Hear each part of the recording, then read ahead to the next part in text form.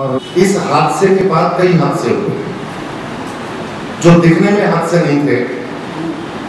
यानी एक बात ये लगातार प्रचारित की गई कि सब कुछ नष्ट हो गया, केदारनाथ का मंदिर बचा।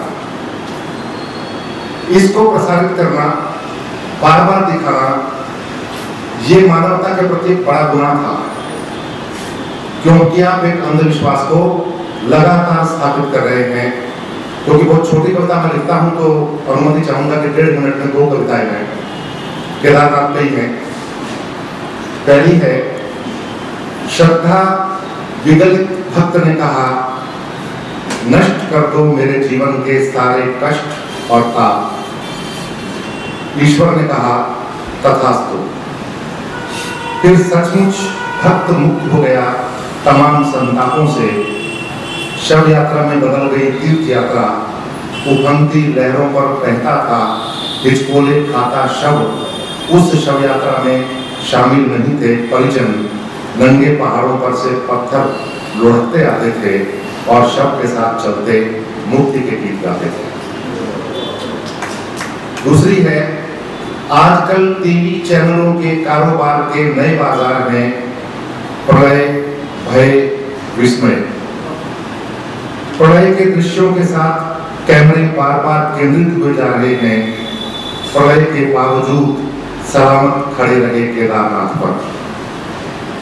कहो केदारनाथ, क्या ये सचमुच गर्व का विषय है कि अपने सामने अपने बच्चों की दारू मौत को देखकर भी सेना का मुस्कुराता खड़ा इतराता रहे? कोई बात? तुम्हारा यह रूप और भयावह विस्मय से भर देता है तुम्हारे भक्तों को? लोगों के बीच चर्चा है तुम्हारी शक्ति की। लोग करते हैं पर संयोग से बच गए जो उस शक्ति के स्वीकार के बाद भी बार बार कहते हैं कि अब ये कभी नहीं जाएँगे। कितने लोग लापता हुए ये भी पता है। हम तो न्यूज़ यानी उनके समाचार सुन करके बैठ जाते हैं कि बहुत बुरा हुआ। लेकिन जिन लोगों के साथ बुरा हुआ, जिन लोगों के जो भाई बंधु हुए वहाँ पर गए और वापस ही नहीं लौटे, उनको पूछिएगा, उनसे जाकर के पूछिएगा, दर्द किसे कहते हैं? दाग प्यार दगे लाला पहले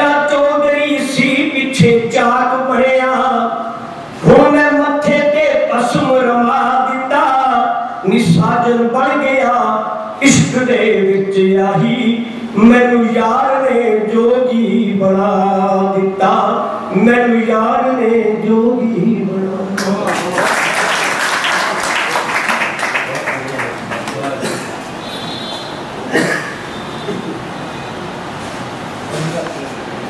कश्मीर मौजी देखा होगा कैसे समाधान दिया और उससे पहले प्रदीप रहेजा का गीत जो वो तो कमाल का था ही।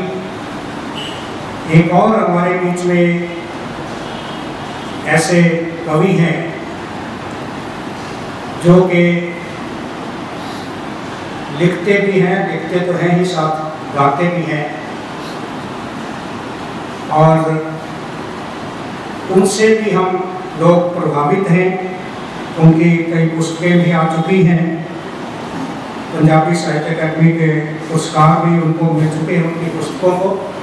डॉक्टर दर्शन सिंह जी से अनुरोध है कि वो यहाँ पर एक रचना प्रस्तुत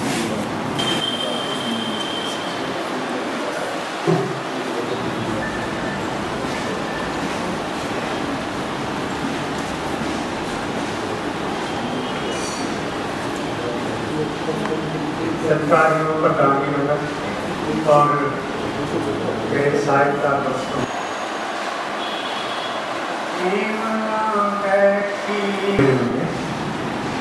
जीवना बैठी उस इंसान का दूजियाँ दे सिर चमोचा मानदा कटिया मतलब ते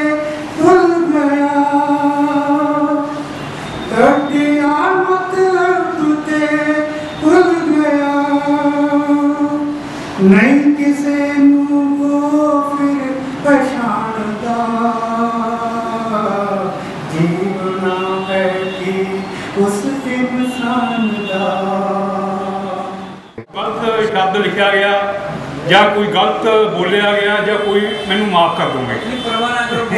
ਇਹ ਇੱਕ ਸਮਾਜ ਵਿੱਚ ਕੋਈ ਵੀ ਵਪਾਰ ਹੁੰਦਾ ਹੈ ਉਸ ਵਿੱਚ ਵਪਾਰ ਵਿੱਚ ਜਿੰਨੇ ਪੈਸੇ ਦੀ ਲਾਗਤ ਹੁੰਦੀ ਹੈ ਉਸ ਵਿੱਚ ਕਿੰਨਾ ਕਿਸ ਦਾ ਹਿੱਸਾ ਹੈ ਉਸ ਦੇ ਵਿੱਚੋਂ ਜੋ ਨਫਾ ਜਾਂ ਘਾਟਾ ਪੈਂਦਾ ਪੈਂਦੇ ਹਨ ਉਸ ਦੇ ਉਨੇ ਹੀ ताकतवर होंगे है।